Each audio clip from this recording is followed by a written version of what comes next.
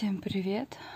Мои цветы не залетели вчера, поэтому хочу еще раз их показать.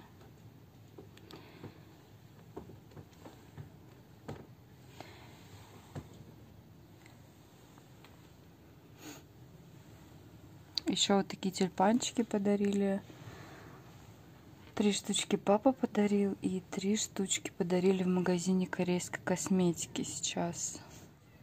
Мне до этого в кофейне подарили один тюльпанчик, но он был такой страшненький. И когда я пришла в магазин этой косметики, я уже все купила, и девушка такая там одна говорит, забери у нее этот цветок и поменяй его на два красивых, типа нормальных вот таких больших. Блин, это было так мило, конечно. Я сначала вообще не врубилась, почему они мне забирают этот цветок мой страшный. Я такая говорю, он же из другого, типа, места. Ну, типа, мне его не здесь, говорю, дали. А они специально хотели, чтобы у меня было три красивых цветка. Я их, короче, не поняла сначала.